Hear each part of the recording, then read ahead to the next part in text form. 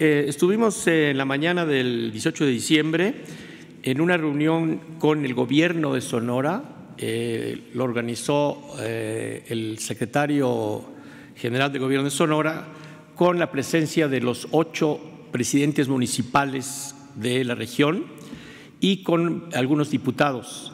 La primera novedad es que ellos, el, digamos, el nivel estatal y municipal, ya han implementado un plan de desarrollo regional que va, se va a realizar en 15 años.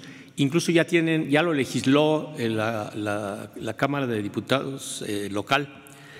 Y la primera idea fue, pues, junto con el Gobierno federal, ya vamos a establecer una relación, intercambio de información y eh, comenzaremos a trabajar en los tres niveles de gobierno con la problemática de la región del río Sonora.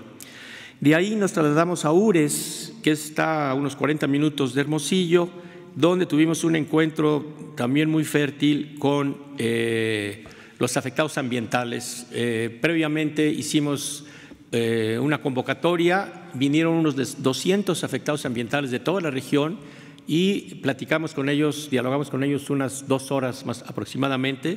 Hubo muchos reclamos, efectivamente. El, doctor eh, Alcocer va a dar algunos datos más sobre esto.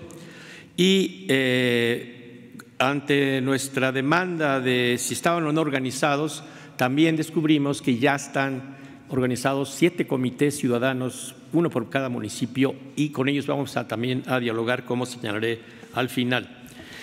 Eh, de allí ya eh, Semanal y Profepa nos fuimos por la tarde a una conferencia de prensa, por ahí, está, la conferencia de prensa con unos 35, 40 eh, comunicadores de Sonora y, también de escala nacional y respondimos a sus preguntas.